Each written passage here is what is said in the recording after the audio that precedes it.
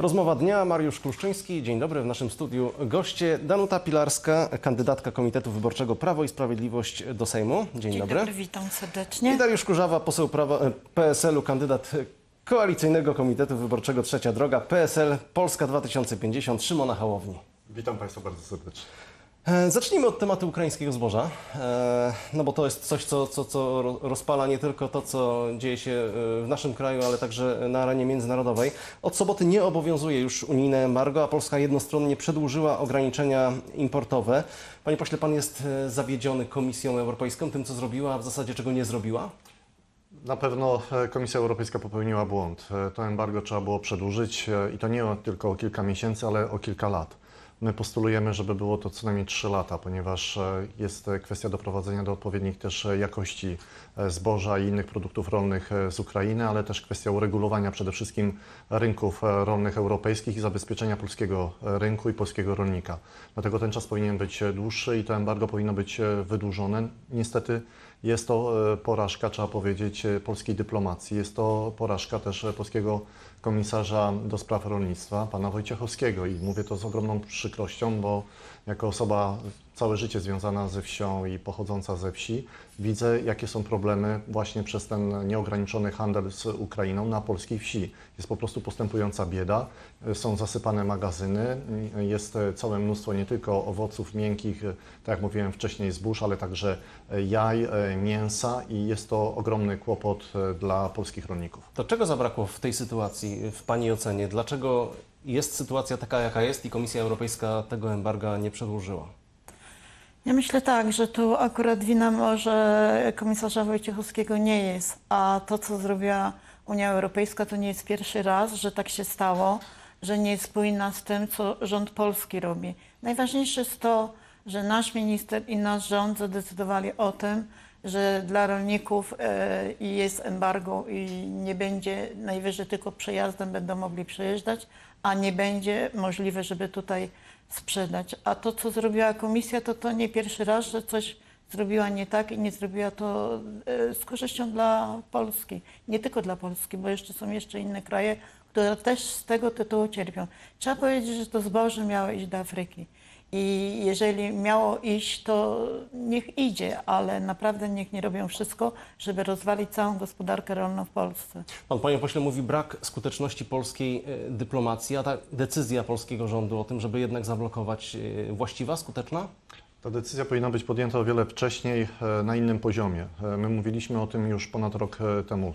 Mój klub, Koalicja Polska, Polskie Stronnictwo Ludowe wraz z Lewicą, bo tutaj też trzeba oddać mm, szacunek kolegom z Lewicy, że podpisali się pod naszą ustawą o ochronie polskiego rolnictwa i ona zakładała system kaucyjny. Chcieliśmy ją wprowadzić już w lipcu ubiegłego roku. Gdybyśmy wprowadzili system kaucyjny na zboże, ale także rozciągnęli to na inne produkty rolne, dzisiaj nie mielibyśmy takiego problemu i to zboże czy inne produkty przechodziłyby przez e, terytorium Polski tranzytem i wypływałyby naszymi portami bądź też innymi portami europejskimi do tych krajów, które zresztą tutaj słusznie e, pani Pilarska zauważyła. E, Rzeczywiście dotarłyby wtedy do mm, krajów czy Azji, czy Afryki, tam gdzie ta żywność jest niezbędna, gdzie ona jest potrzebna, bo cały problem wziął się stąd, że zablokowane są porty czarnomorskie, czyli naturalne szlaki handlowe dla Ukrainy, bo Bałtyk nigdy nie był ich e, szlakiem handlowym czy też terytorium Polski. Przez wojnę e, z Rosją te szlaki handlowe są zablokowane.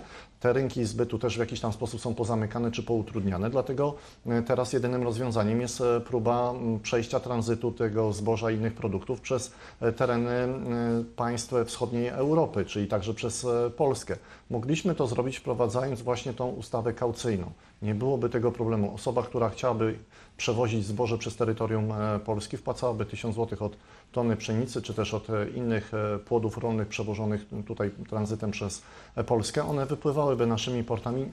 Nie opłacałoby się zostawiać tego zboża i innych płodów rolnych na terenie Polski. A tak niestety to zboże po drodze niknęło w wielu magazynach, w wielu firmach i tak naprawdę nie wiemy, co się stało z tak zwanym zbożem technicznym. Ja nad jedną Też. rzeczą się w tej chwili zastanawiam, na ile skuteczne, skuteczna będzie ta blokada ze strony Polski, bo e, do Polski tylko tranzytem, ale do innych krajów Unii Europejskiej to zboże może wjeżdżać. E, Pytanie, czy ono nie wróci. No jest e, możliwe, że jak pójdzie do Europy, to i my też możemy mieć problem ze sprzedażą, bo też jestem rolnikiem jeszcze i syn, który ma 200 hektarów. I chociaż zajmujemy się e, jako rolnictwo metodą ekologiczną i też mamy jakieś problemy, nawet e, z tym, co do tej pory nie mieliśmy. Na pewno będzie problem wielki, że nawet gdyby u nas nic nie zostało, a przeszłoby do Europy, to może być e, jeszcze problem, że my będziemy mieć problem ze sprzedażą, bo my jako rolnik, ja i mój syn, też sprzedajemy do Holandii, do Niemiec, do Hiszpanii i my sprzedajemy, a coraz trudniej jest cokolwiek sprzedać. A zboże ukraińskie będzie pewnie tańsze. nie tylko, że jest tańsze, ale wartościowo to jest naprawdę gorszej jakości, bo są parametry w Unii Europejskiej, gdzie są, e, o, trzeba je spełnić, a w Ukrainie tych parametrów nie ma, więc na pewno nie będą takiej jakości jak e, zboża europejskie, w tym między innymi polskie. To jeszcze na chwilę zatrzymajmy się przy tej sprawie, ale y, o wydźwięku bardziej międzynarodowym i dyplomatycznym, bo prezydent e, Ukrainy występując w debacie e, po- podczas Zgromadzenia Ogólnego Narodów Zjednoczonych w Nowym Jorku powiedział między innymi, że jego kraj ciężko pracuje nad zachowaniem szlaków lądowych dla eksportu zboża i niepokojące jest to, jak niektórzy w Europie, niektórzy nasi przyjaciele w Europie odgrywają w teatrze politycznym Solidarność, robiąc thriller ze zbożem. Może się wydawać, że odgrywają własną rolę, ale w rzeczywistości pomagają przygotowywać scenę dla moskiewskiego aktora. Kogo mógł mieć na myśli? Przede wszystkim e, z całym szacunkiem dla pana e, prezydenta Zeleńskiego. On również jest aktorem to dosłownie, bo jest przecież z zawodu aktorem i doskonale chyba wie, co mówi w takim razie. Natomiast e, ja uważam, że i tak samo moje ugrupowanie uważa, że tutaj się bardzo myli. Ja rozumiem e, tutaj Ukraińców. Oni stoją pod ścianą, bo rzeczywiście teraz okazuje się, jak ważny dla nich jest handel zbożem. To jest jeden z największych rynków dla nich i tym rynkiem ni- nigdy nie była Europa Wschodnia. Tym rynkiem była Azja i była Afryka. Mają w tej chwili e, te drogi tranzytowe i mm, przerzutowe mają niestety zamknięte. Wobec tego szukają innych rozwiązań. My zablokowaliśmy to ze względu właśnie na, na to, że niestety nie mogliśmy też zagwarantować, że to zboże rzeczywiście przejedzie przez Polskę i e, zostanie wytransportowane gdzieś do Azji czy Ale jest pan zawiedziony takimi słowami prezydenta Ukrainy? No oczywiście, e, że tak, no bo przecież e, każdy z, każdy z Polaków poniósł ogromną cenę pomocy Ukraińcom, bo przecież to, że mamy tak ogromny deficyt e, budżetowy, że mamy problemy finansowe, to też wynika z tego, że podzieliliśmy się swoim własnym budżetem państwa e, z Ukraińcami, bo przecież wystarczy wspomnieć e, 500 plus dla e, dzieci ukraińskich, trzeba wspomnieć o tej pomocy dziennej, to jest 40 zł dla każdego Ukraińca, który przebywał na terenie Polski, a przecież było w pewnym momencie kilka milionów, to wystarczy sobie to przemnożyć przez jedną dniówkę i mamy ogromne sumy w ciągu miesiąca, które wydawaliśmy na pomoc Ukraińcom. I też e, proszę zobaczyć, jak e, ogromnie spadła opłacalność e, polskiego rolnictwa, także przez e, napływ tych e, płodów rolnych e, z Ukrainy i otwarcie e, granic dla tych, e, dla zbóż i, i dla innych e, produktów. My też musimy się bronić. Ja rozumiem z jednej strony też e, prezydenta Ukrainy, no bo on broni swoich interesów i swojego państwa. Oni są w stanie wojny, potrzebują pieniądze, potrzebują e, środki na prowadzenie e, tej wojny, ale jest ogromny zawód e, w społeczeństwie, bo odzywają się głosy, zwłaszcza w tych małych miejscowościach na wsiach. No przecież no my im pomagaliśmy, jak oni mogą mówić o tym, że, że my wspomagamy Rosjan w jakiś sposób. Niestety to jest brak rozmów, e, wcześniejszych decyzji. To o czym Pols mówiłem. polski to, o czym- o MSZ czym w tej chwili e, no, reaguje, został wezwany ambasador Ukrainy, przekazano mu protest wobec tych e, sformułowań. E, To jest właściwa Pani zdaniem reakcja? Trudno mi powiedzieć, ale no, nie powinno do tego dojść, żeby tyle pomocy, co Polska dała dla Ukrainy, kosztem swojego państwa, swoim rolników. Po, Polska jest krajem rolniczym. E, Na Ukrainie nie ma takich drobnych rolników jak w Polsce. Całe Podkarpacie to są po hektarze półtora do, do pięciu. To są e, rolnicy oligarchowie z różnych państw, gdzie są bardzo bogaci i oni według mojej wiedzy powinni sobie poradzić sami w jakiś sposób, tak jak sobie radzili do tej pory. To jest tylko kwestia przetransportowania i w jaki sposób do tych krajów, gdzie do tej pory sprzedawali. A tak e, po prostu spróbowali i rozwalili całą gospodarkę europejską, nie tylko polską, ale europejską, bo rolnikom naprawdę od czasu wojny żyje się coraz gorzej i bardzo e, źle jest, bo wszystko jest coraz droższe, oleje i ropa, wszystko, a zboże jest mało, że bardzo ciężko sprzedać, to jeszcze cena jest bardzo, bardzo niska. I to musiało się w jakiś sposób zakończyć, że te całe towarzystwo, które e, pomagało, to musiało się skończyć dla rolników, bo w inny sposób to Polska e, i rolnicy w Polsce upadną.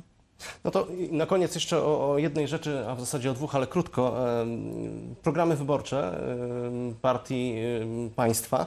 E, Prawo i Sprawiedliwość zapowiada, odbudujemy polskie przetwórstwo, doprowadzimy do repolonizacji i unarodowienia przemysłu przetwórczego w rolnictwie, uruchomimy sieć sprzedaży detalicznej artykułów spożywczych. To jak to ma w praktyce wyglądać?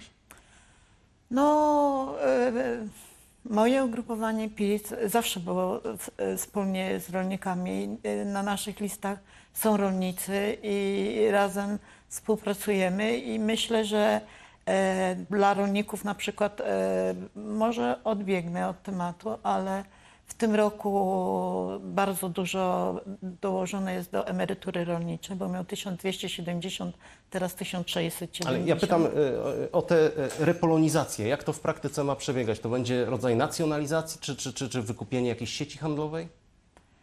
No, dokładnie to trudno mi powiedzieć, jak to będzie, ale na pewno, jeżeli jest taki program, to zrobi się wszystko, żeby jednak było dobrze. Państwo powinno posiadać sieci handlowe? Przede wszystkim państwo nie jest od tego, żeby e, posiadać. Posiadać powinni obywatele i powinniśmy ułatwiać obywatelom e, prowadzenie działalności gospodarczej, oni sobie doskonale poradzą e, w tej rzeczywistości, w której żyjemy i nie chcemy chyba powrotu do PRL bis. E, Mam nadzieję, że PiS e, nie będzie rekonstru- grupą rekonstrukcyjną PRL-u, bo to w takim kierunku by zmierzało. Ułatwmy mm, działalność gospodarczą naszym e, producentom, ale także naszym przetwórcom i to na pewno mm, pomoże lepiej niż e, tworzenie jakichś kolejnych niby to spółek, bo przecież ja chciałbym przypomnieć, że Prawo i Sprawiedliwość już dawno mówiło o mm, wielkim konsorcjum, które miało się zajmować właśnie dystrybucją płodów rolnych, też żywności, przetwórstwem i tak dalej. Z tych planów przez 8 lat nic nie wyszło i teraz e, po 8 latach odświeżają ten stary, stary pomysł, gdzie ulokowano wielkie pieniądze choćby w zmiany e, logo e, na inne, tworząc właśnie tworząc taką grupę, która miała, miała handlować polską żywnością. Nic z, tego, z tych planów nie wyszło. Dajmy wolną rękę naszym przetwórcom i naszym przedsiębiorcom, ale przede wszystkim też wspomóżmy spółdzielczość rolników. Dlaczego poupadały grupy producenckie?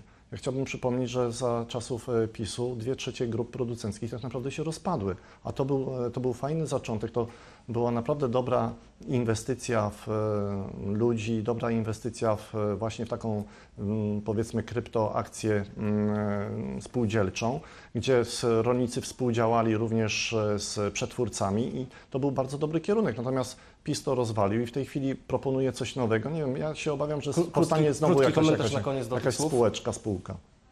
No, nie do końca bym się tutaj zgodziła, że to tak wszystko PiS e, zawalił, bo jestem tam od lat i, i wydaje mi się, że jestem zadowolona, bo mówię, do dzisiaj jestem rolnikiem i, i nie miałabym nic do powiedzenia negatywnego, że coś tu jest nie tak.